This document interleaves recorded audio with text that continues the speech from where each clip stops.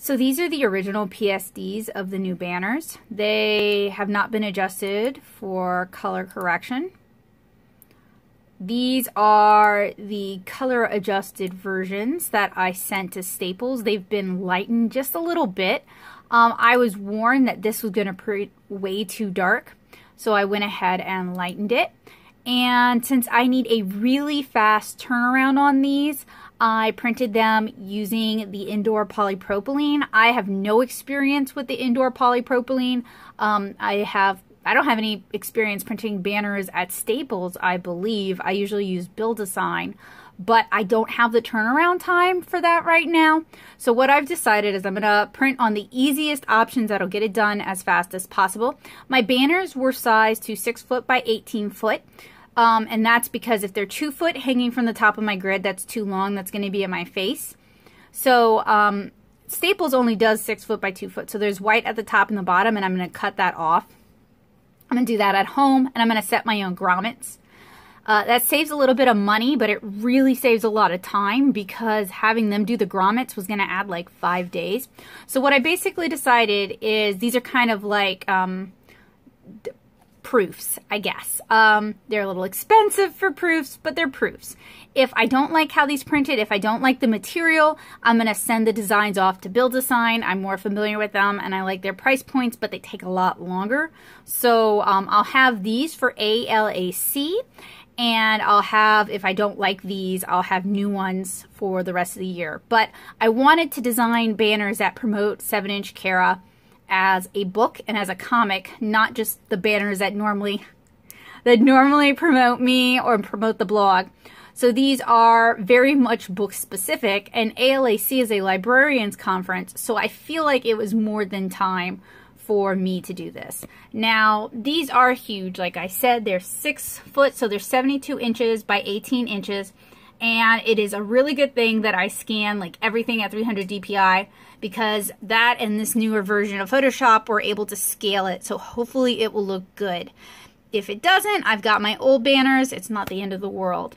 So at this point, I don't know what the new banners are going to look like. You guys will know before I will know. So um, they should be done by 8.30 tonight. Probably going to pick them up tomorrow instead. So I, I don't know. It's getting all timey-wimey and weird.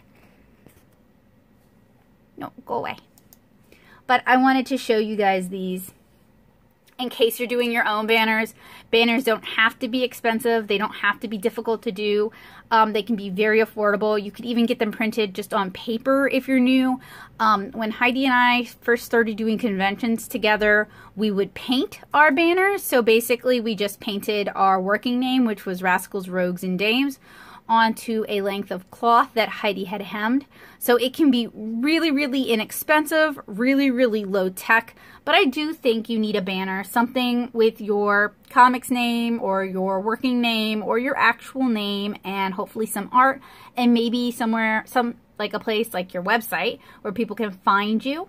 This allows people to sort of see your table from across the room.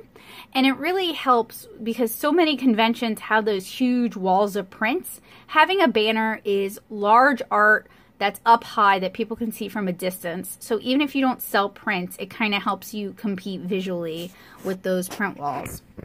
All right. All right, here we are at Staples here to pick up the two new banners. I can't wait to show you how they look. All right guys, I've got my two banners. These are printed on polypropylene scrim. It was the cheapest of the not paper options and it had the quickest turnaround, the same day pickup. If I'd gone with vinyl, it would have been five to six days. And then they had a nicer vinyl, like a coated glossy vinyl, and that was delivery only, and that was like a week plus. So given that I have kind of tight time constraints, I opted for the scrim. And I printed two versions of my banner, and I did check it while I was there to make sure to make sure it would work. I'm only going to show you guys a little peek right now because it is super nasty wet outside. Don't want to put these on the ground. This is the darker of the two banners, the one Oh, there's some scratch mark. Nope, never mind. It's so high resolution it caught the cat hairs in the painting. Nice. Um, this is the darker of the two banners. It was the one people expressed concern that it would print too dark, so we're gonna check it out. I think it'll be okay. I did lighten it like I mentioned to you guys earlier. Don't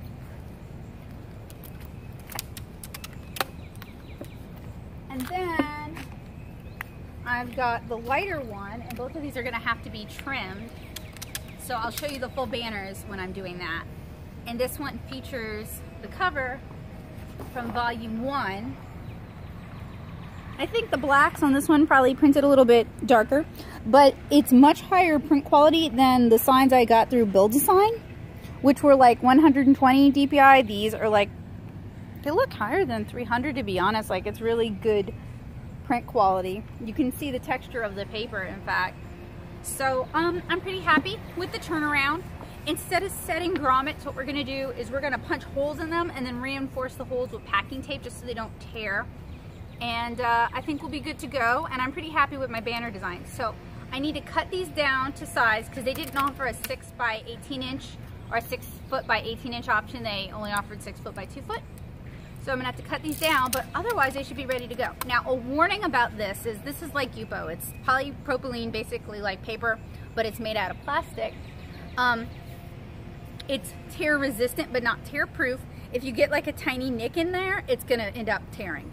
Um, and it will fold and crease. So you do wanna store it kind of rolled up like this. In fact, I'm even concerned that it being rolled up like this might be a problem because it may want to always go back to its curved configuration, which is why I'm gonna punch holes in it rather than mount it using magnets. So I will show you guys when we cut it down. Hey guys, so the weather is beautiful out here. So I'm going to go ahead and cut my banners. I'm gonna do it one at a time. And since they're huge, I can't really use a cutting mat and a rotary cutter, which would be kind of ideal. So what I'm gonna have to do is probably do it out here on the ever beautiful ground.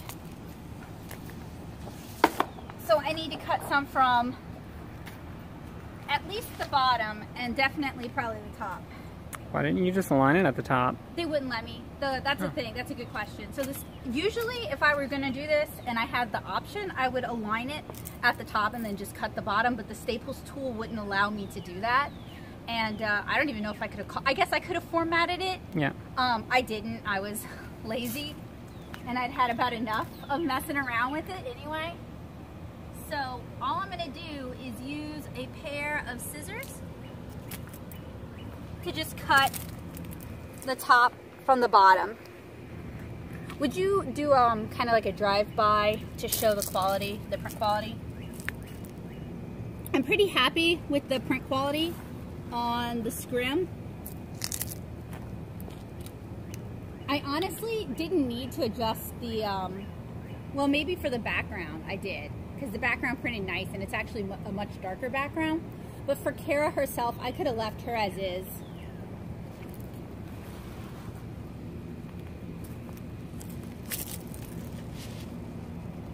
If you have a steady hand, you can do that uh, wrapping paper trick where you just glide the scissors along, but I've got hand tremors, so I don't trust myself to do that. And I'm just gonna go ahead and cut it and I'll check in with you guys, show off the other banner.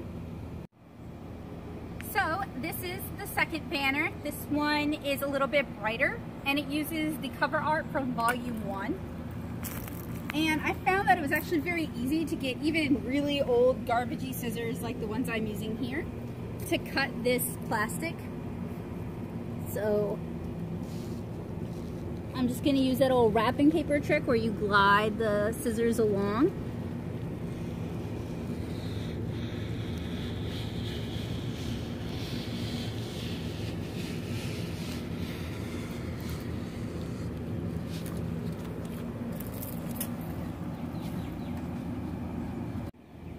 since I'm not sure if the ink on scrim will scrape off, I'm rolling them with the ink on the inside. I'm gonna store them in my apartment so that they are uh, climate controlled because sometimes with things like toner, if it gets too hot, like the inside of a car, the toner kind of reactivates and gets sticky again and then it would just come off on the opposite side of the roll.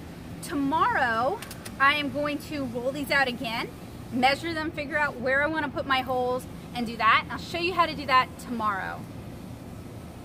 Alright guys, so I have my banners here. I have my packing tape here and I have a three-hole punch and the reason I grabbed this is it's one of those powered ones and since I'm punching holes through scrim, I don't know if I have the hand strength to punch through using a traditional hand hole punch. So what I want to do is I'm going to make like four or five holes in each on the top and on the bottom. And I want to make sure really the for me, the, um, excuse me, back up, Pez. And I'm going to use a, hold that. So really, what is important isn't so much um, how far apart they are, but it matters how deep they all are in the, um, anyway, should have brought a pencil. I did not bring a pencil, so I'm to go grab one. I'll be right back.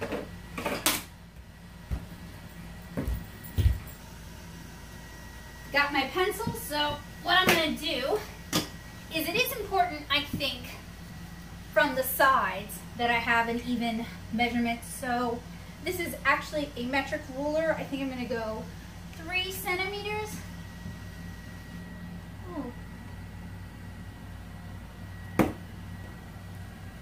make a little mark, and do three centimeters from the top. And that's where I want my hole. Cut right through the W.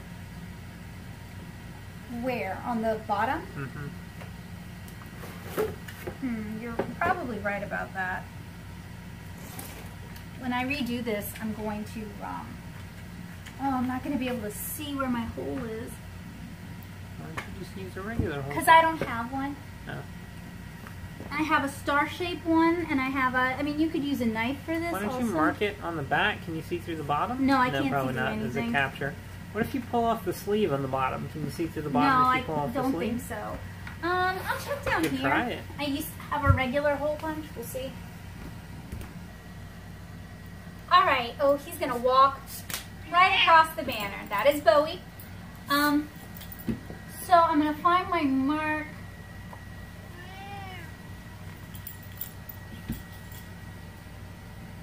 It doesn't want to mark in the back.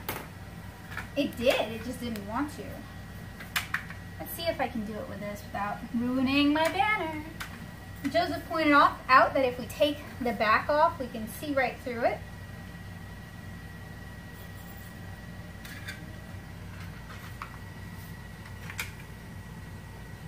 That's weird. Oh, the third one's broken on this. Wow, this is made of pure metal and all the rivets are coming undone. Let's see if I can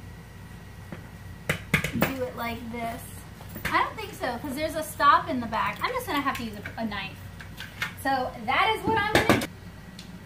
Okay, so what we're going to do is we're actually going to test it on this piece of scrap scrim.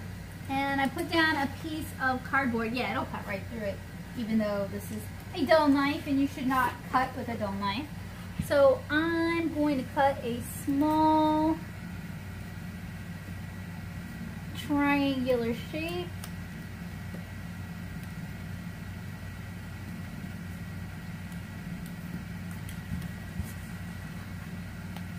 There we go.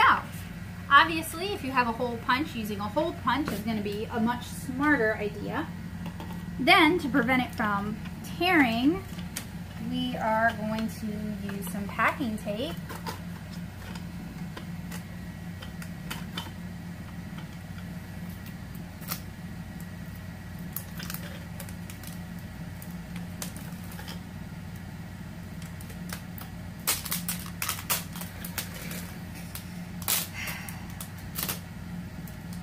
That be recording you doing this? Yeah, I guess. I don't care. I have no shame. Believe me, no one on YouTube thinks I'm a genius. That tape was bad.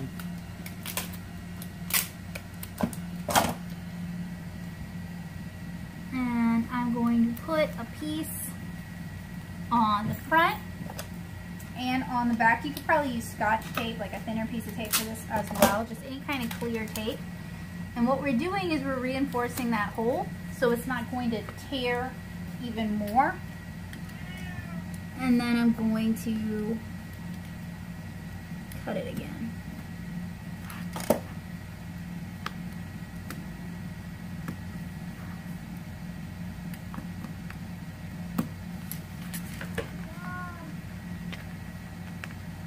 So there you go. And what I'm going to do is I'm going to thread a zip tie through this when I'm hanging it. Um, if I cut a bigger hole, I could do ribbon or you can use twine, anything like that. It doesn't have to be that fancy. And I'm going to do all four corners and then I'm going to do, I think, three along the edge. So I'll check in with you guys after I've done that. Okay, so we are on the last hole on the second banner. I'm really happy to be finished. I kind of honed my procedure, so I'm going to share with you guys what I've learned. So I found my star hole puncher. I really recommend a circular hole punch. If you have a circular hole punch, that's going to make doing this a lot easier and it's going to look a lot better. My holes look kind of ragged and janky, but uh, I'm on a time crunch here and I plan on reprinting these banners on vinyl anyway, so I'm going to adjust the text. In fact, something else I want to talk to you guys about. Depending on where you want to set your holes and depending on whether or not you're putting grommets in, you definitely want your text to be about two inches from any of the borders or um, any of the banner edges. Uh, many sites will have like a printing bleed. If you're setting your own grommets, you want to accommodate even further for that. So several of my letters for these do indeed have holes in them and the holes are kind of kind of really rough looking but that's okay. These are kind of like draft banners anyway. I'm going to make some changes and then I'm going to have them reprinted so I'm not that concerned about it. You are also going to want to have a pair of scissors and we found that it looks a lot better if you put the packing tape on only one side. So I'm going to go ahead and set the last hole which is really going to be a problem because a watercolor comic comes way too close to the edge.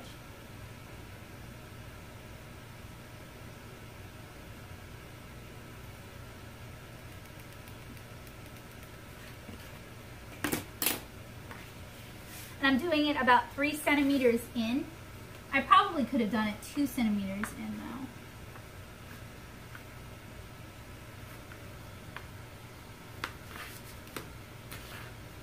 much easier with a hole punch than using a knife.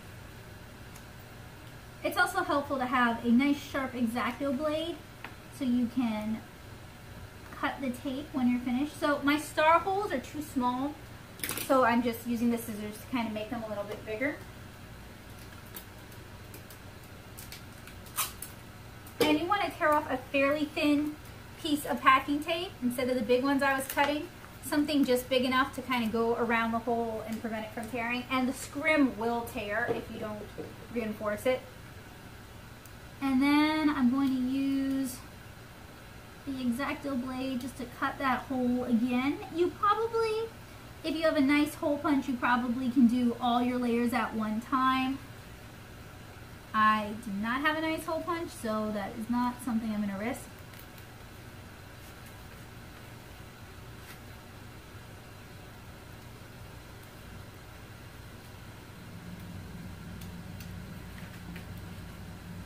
All right, so that is done. I'm just gonna roll it up. I've already got the other one rolled up for storage. So um, I acknowledge that this is not the most professional looking banner. You can, I've had more professional looking banners for sure, and you can easily get more professional banners than these. But considering the turnaround and the cost, I'm very satisfied with what I was able to do. There were no other options that would have been finished in time for me to leave for ALAAC. So considering I had that kind of time crunch and the scrim and cutting my own holes allowed me to have new banners for the show that will hopefully look great when up. Like hopefully you're not going to notice the holes when they're up on my grids. Um, I'm very satisfied with that. So thank you guys so much for watching. I hope this was helpful, useful, and informative for you guys. And I highly encourage you guys have a banner for your convention table. It can be your comic, it can be your brand name, it can be your given name, just something that will attract customers from across the room. I'm Becca Hillburn. If you're looking for more convention uh, tips and tutorials, head on over to howtobeaconartist.tumblr.com for more. Bye guys!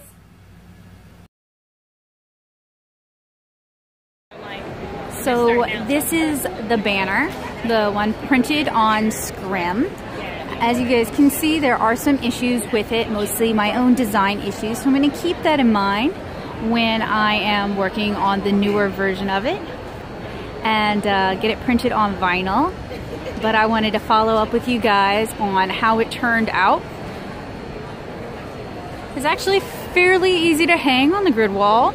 Um, in the future, I would prefer if I were to print on Scrim again, the printing on Scrim is really nice, but if I were to print on Scrim again, I would use a hole puncher rather than the star punch and then cutting it out. Unfortunately, we didn't have a hole puncher, but it'd be worth the investment just to make it easier. And I would definitely leave room in the lettering for the holes. And this was cut down to 18 inches, which is just slightly larger than one set of grids. So another thing I might do is do a 6 foot by 12 inch or 6 foot by 1 foot banner as well. So thank you guys so much for watching my uh, banner emergency. I hope it was helpful, useful, and informative for you guys. And I hope it maybe inspired you to try making your own banner on the cheap. This is Becca Hillburn. I'll see you guys again really soon. Bye!